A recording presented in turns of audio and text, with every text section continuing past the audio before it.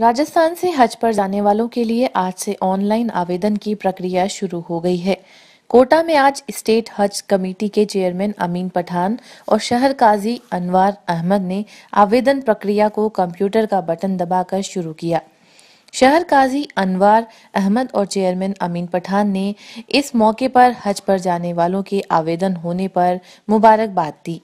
अमीन पठान ने कहा कि देश भर के 21 जगहों में से 12 जगहों पर हज की फ़्लाइट पर रोक लगा दी गई थी।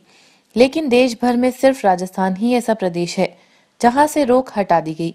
पठान ने यह भी कहा कि हज पर जाने के लिए ऑनलाइन ही फॉर्म भरें ताकि फॉर्म भरने में कोई गलती ना हो। क्योंकि उसमें गलतियों की गुंजाइश कम होती है तो इसलिए आपसे गुजारिश है कि आप जो इस बार ऑनलाइन फॉर्म भरने का आप लोग ख्याल रखें।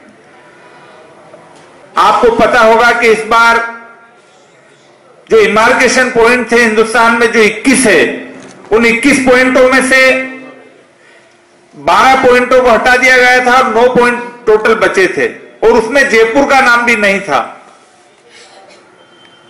हमारी कोशिश थी, हमने बात की हमारे अकलियाती मामला मिनिस्टर साहब से, राजस्थान की यशस्वी मुख्यमंत्री जी से और मैंने अपने पर्सनल ताल्लुक से भी उनसे बात की और हमने कहा कि राजस्थान का जो एरिया है वो काफ़ी लंबा है। जैसलमेर, बाड़मेर, गंगानगर, डूंगरपुर काफ़ी दूर दूर है। और यहाँ के हाजियों को दिल्ली जाना बड़ी तकलीफ़ का मामला हो जाएगा। तो उन्होंने उस बात पे गौर किया, फ़िक्र की। और मैं आपको बता दूँ कि हिंदुस्तान में सिर्फ़ जयपुर ही एक इमार्केशन पॉइंट है जिसको वापसी हुई है।